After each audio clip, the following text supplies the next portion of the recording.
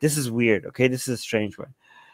The Veda, the Veda should be known as the revealed word, and the Dharma Sastra as the recollections, recollections in all matters. These two do not deserve to be criticized.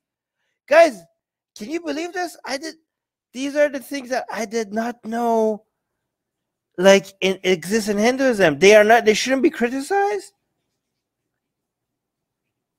They should not be criticized. Are you serious, guys? Like this is like this these are the stuff that you know how Hindus keep on telling like, hey, our religion is okay with being criticized.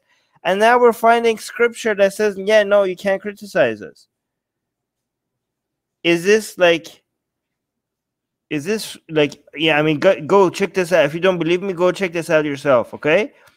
So these two uh, do not deserve to be criticized as it is out of these that dharma shone forth. Guys if you don't know what dharma is we did a video on hinduism core belief yesterday. You could go check it, that out.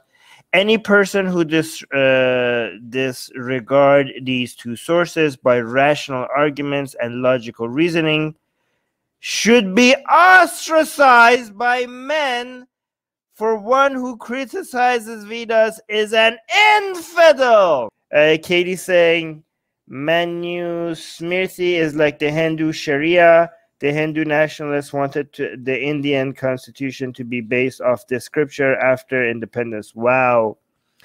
A, a scripture that says that, you know how a lot of Hindus like, Armin, you're mocking us. Why can't you like use logic to criticize instead? Well, read your own scripture. I'm not supposed to do that. Any person who dis, um, disregard these two sources by rational arguments and logical reasoning should be ostracized by men who criticize Vedas. Uh, uh, they're infinite. Wait, should be ostracized by men, for one who criticizes Vedas is an infidel. So what happened to all the Hindus? Like, Armin, don't insult Hinduism. You could use logic. You could use reasoning.